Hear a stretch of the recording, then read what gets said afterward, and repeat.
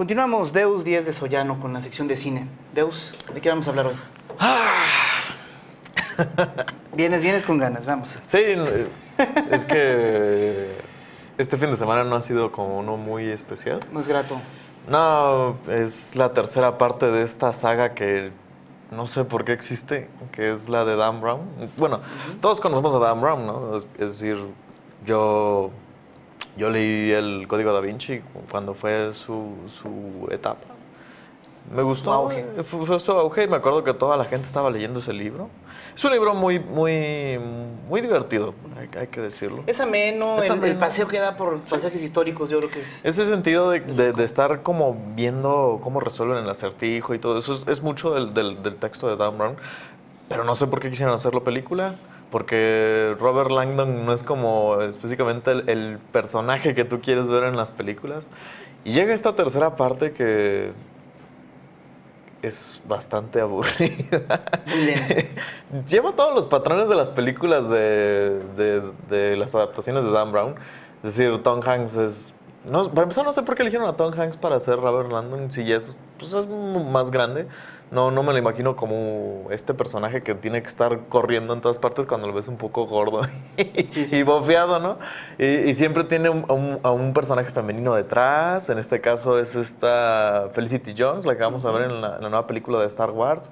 Y pues es lo mismo, es, es, como este tipo de películas que son como, ah, vamos a darle publicidad de turismo a, varias zonas europeas, en este caso a Venecia, Florencia, y, funcionan como, esto no se traslada muy bien en una película, porque tú cuando lo estás viendo, te están como describiendo todo, te están diciendo, oh, eh, es que tienes que ver esto, los, los, papiros y lo, lo, de cuarentena, que antes significaba esto y todo eso. Es como que eso no se traslada muy bien porque cuando estás leyéndolo, incluso tú te sientes como identificado, como si te estuvieran dando una plática. Pero a la hora de ver eso en, en, en, filme no, no funciona. Es, es, la tercera película y también la dirige Ron Howard, que es un director que puede ser, puede ser muy bueno. Eh, la última película que me gustó mucho de él fue Rush, la que hablaba de Nicky Lauda. Sí, sí. Eh, es un director muy competente, eh, nada más que en estas ocasiones trabaja en automático. Lleva varias películas trabajando en automático. Este año presentó un documental de los Beatles que es muy, muy bueno. Eh, pero pues cuando le, le, ofrecen las películas de, de, Robert Langdon, como que bueno, pues nada más para, para, conseguir el chequecillo. Porque sí tiene taquilla. Digo, se ve una cierta terquedad de parte de las productoras, ¿no? De seguir con. Son muy tercos, creo. ¿eh? La terquedad de seguir en ello. y digo, muestra de ello es que cambian de director para tratar de acomodar los proyectos prácticamente como con calzador. La cuestión es que nadie quiere hacer estas películas más que más que Ron Howard y este y Tom Hanks. Y lo que yo esperaba, porque digo, son películas que las categorizaría como películas que cuando estás viendo el domingo, pues estás comiendo, es como, ah, pues, la voy a ver, ¿no? Pero a mí lo que me gusta mucho es la música. Hans Zimmer no es uno de mis compositores favoritos, pero siento que en estas películas como que sí demuestra una calidad de compositor.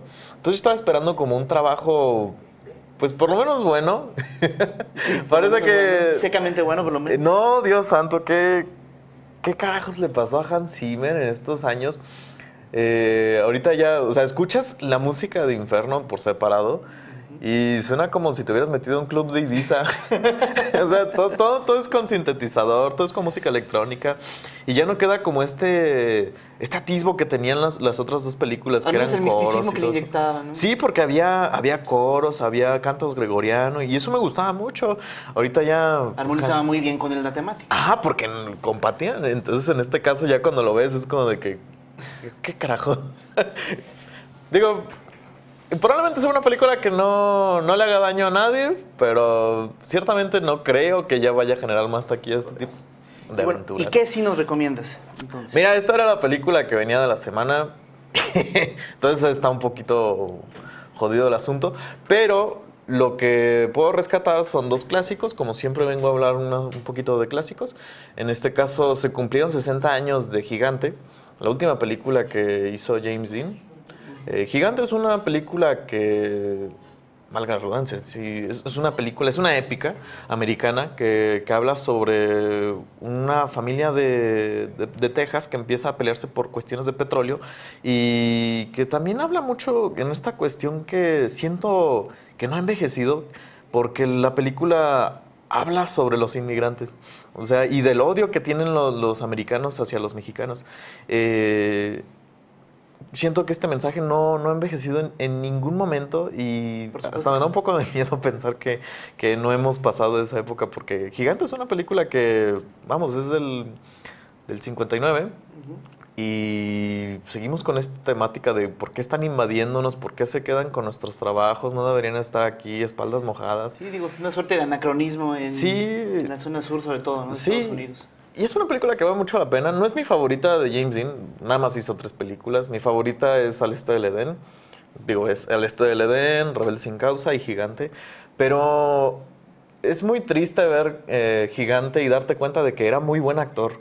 Porque en este caso es la única vez donde hizo un villano, que es este Jet, que es un vago, o sea, nadie lo quiere de las demás familias, y de pronto se queda con un pozo petrolero, empieza a conseguir dinero y como ella, él siempre quiso con la protagonista, porque aparte es una mujer, la protagonista, que es esta Elizabeth Taylor, eh, y como no pudo tenerla, le empieza a joder la vida a partir del dinero, de hecho se empieza a, enamorar de su hija, o sea, me, empieza a ver esta familia desde sus inicios hasta ya cuando empiezan a tener nietos, porque es, es, como ver una novela, por así decirlo, porque incluso la película dura tres horas y algo, eh, y me, acuerdo mucho de esa escena final donde lo ves todo derrotado, porque aparte se pelea con Rock Hudson, que Rock Hudson era una de las caras más guapas de Hollywood clásico. No sabíamos que era homosexual hasta ya después que, que reveló que tenía SIDA. Y era mucho, era muy amigo de Elizabeth Taylor. Aquí se ve mucho la química que tienen y para empezar se está peleando con, con James Dean. James Dean pues era muy flaco y chaparro y Rock Hudson pues era una masota. Ah, Pero luego lo ves derrotado y lo ves ebrio, gastado, porque aparte ya tienen maquillaje como si estuvieran muy viejos. Y digo, esa escena final donde lo ves tirado, riéndose, es como de que qué pena que se nos haya ido. Vale mucho la pena checarla ya en este 60 aniversario, porque también, reitero, es un mensaje que, sigue muy, vigente. Y la otra película es este, Larry Flint, El hombre del escándalo. Creo que así le pusieron aquí en, México. Esta película es de Milos Forman. No sé si reconozcas a Milos Forman. Es el que hizo Amadeus. Amadeus, sí, sí, sí. Es un peliculón. Y todas las películas de Milos Forman siempre son muy buenas porque aparte es, ese análisis de un personaje muy misterioso.